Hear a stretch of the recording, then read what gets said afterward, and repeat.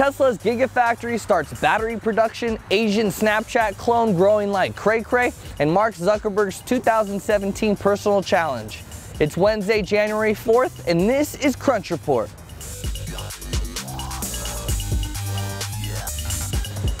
Welcome to the Crunch Report. It's a beautiful overcast Wednesday here in Las Vegas, Nevada, where CES 2017 starts tomorrow right behind me. See it over there? Booths are getting set up, stages are being built, and we're hoping to cover it all. Let's jump into that sweet tech news.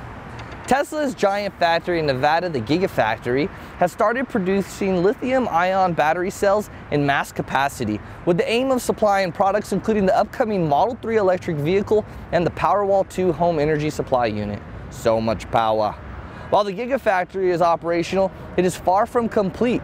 The design Tesla used allows it to open different phases for business as construction finishes on each, which is what will help them use to build production batteries now, but also scale to much greater production capacity over time. Tesla says it aims to have capacity ramped to the point where its production of lithium ion cells tops 35 gigawatt hours a year, which is almost at the current electric battery production capacity of all the world's suppliers combined.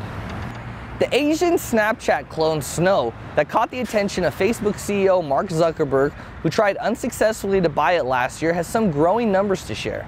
The app's Korean parent Naver today confirmed it crossed 100 million downloads in December, with 40 to 50% of its user base active on the app each month.